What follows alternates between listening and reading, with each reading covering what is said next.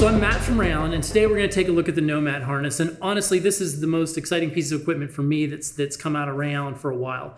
Um, it's really slick, and it's got a bunch of interchangeable stuff. The system is uh, it, it, becomes a whole harness system, so you can do you can run ballistics with it, you can run a ballistic vest with it, so you can run a ballistic cape it's got ID panels. It's got all kinds of stuff that all kind of work within this harness system. But what you've got in the base harness, which is what this is, which is a really nice harness to start with, you basically have three handles. You've got two here so you can grab him and pick him up. You need to get him over a fence or you need to get him in an attic. Bam, you can grab him and you can move him, right? You've got to handle this, this direction so you can grab it easy, get to it, two D rings, same thing. If you need to load him, hook two leashes to him, you can do that. If you use hook in the front, you can. If you use hook in the back, you can do that too. So if you're tracking, you can run it off the base of his tail, and you can make that whole thing function like that. If you're just on patrol, bam, you can move it up, and you can have more control of the front end of his body. Um, you've got ITW or GT Cobra buckles down here made by ITW. So this is a US made product. Really slick piece of equipment, just like a regular Cobra buckle. If you hit one ear, it won't unload. You have to hit both ears to open it up. Um, they load rate at 500 pounds. There's actually four of them on this. Um, part of the reason that we put four of them on this is because if you load a dog with two, two buckles on one side, right? So you, if you just had the two buckles here and not the two buckles that were on the other side of this harness, bam, over here, right? The harness wants to shift around. So it wants to walk to where the weight is of the harness. It wants to twist like this. So in order to balance the dog and balance the, the weight that's on the dog, it has four buckles on it. The other nice thing is it unclips really easy like that. So you pop two buckles and the whole thing falls off and it comes up over the dog's head. But you don't even have to take it out from underneath his legs. You know, a lot of harness, you got to get his, get his leg through there, that kind of thing. If you drop all four buckles, bam, the whole thing falls off. And the front, you've got two adjusters. These are metal adjusters. So you've got you know, a mil spec load rated metal adjuster in the front. So as far as durability and strength of the harness, it's hard to beat, right? Like this piece of equipment is built really well.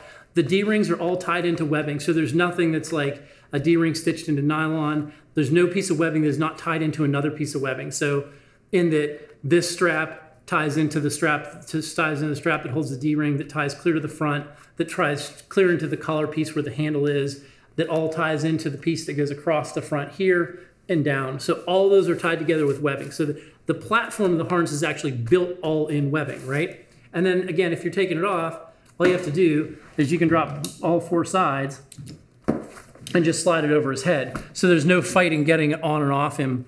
Um, you know, getting getting a dog that's that's uh, you know getting it through his leg and that kind of thing. It's a really slick piece of equipment. So the base unit comes with this and it comes with one cape. So we're going to take a look at the cape next.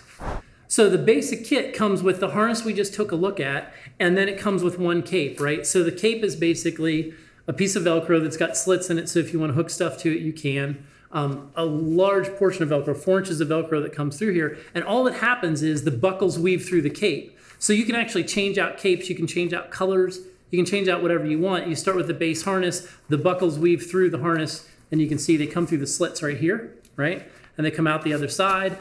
And then that cape becomes interchangeable, which is what's slick about the whole system, right? Is it gives you the ability, we can now take and we can swap out this cape for a ballistic cape and you run the same harness. So the dog and you have the same feel every single time. It's not a different harness or a different thing, or you put on this giant ballistic vest and the attachment points are different than you used to and the handles are different than you used to. It's the same platform every time you put it on the dog. You know you walk up and this is the handle you grab when you're doing this, or this is the handle you grab when you're working that, or this is the this is the D-ring you clip the leash to. Every time you walk up the dog, it gives you the exact same feel across the harness, but we've got the ability to swap that stuff out. So we can even change colors in this. We can run, you can run a, a you could run a Ranger green body, right? A Ranger green main harness, and then you can run a cape that's coyote. Um, so you can actually mix and match stuff. You can run multicam. You can run all kinds. It's a really neat system. Gives you the ability to do all kinds of different things with it.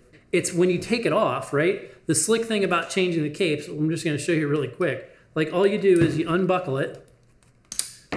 You unbuckle it here, you take out the, the straps in the front,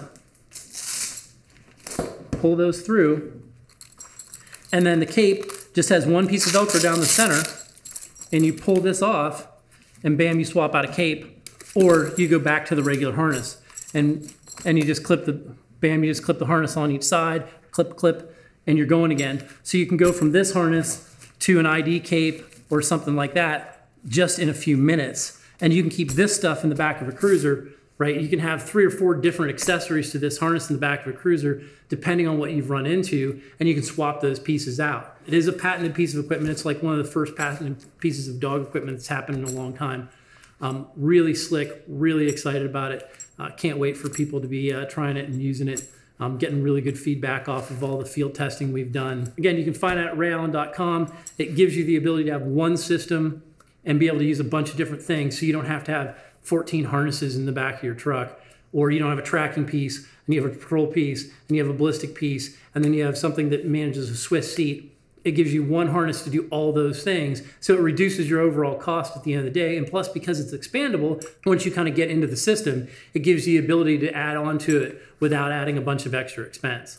So pretty neat piece of equipment. We're really excited about uh, what it can do and kind of where it can go and where it can take you and the different things that uh, people are going to be able to use it for. So if you want to see more equipment and you want to see more about stuff Ray Allen's doing and all the cool stuff, hit the subscribe button down here someplace uh, that kind of thing. If you're on Facebook, maybe it's over there. I don't know. Like it, subscribe, do that sort of stuff. You know what I'm saying? Instagram, I don't know.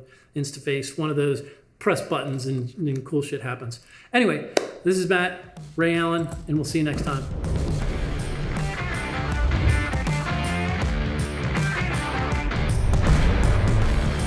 Bye-bye.